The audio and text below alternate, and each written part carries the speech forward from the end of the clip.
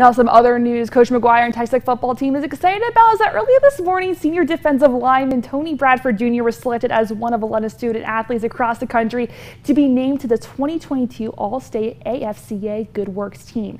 Now, Bradford is being recognized for his tremendous involvement within the West Texas community as a senior has been a driving force behind Texas football program that has committed more than 2,000 hours of community service alone within the past two years.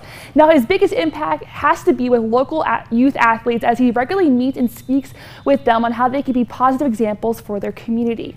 You also may have seen Bradford at Texas Tech men's basketball games or two as he works with Texas Tech Police Department as a security guard, whereas after football he wants to go right into law enforcement and hopes of someday becoming a police chief you know what Tony has done for this community and this university um, is, is, amazing.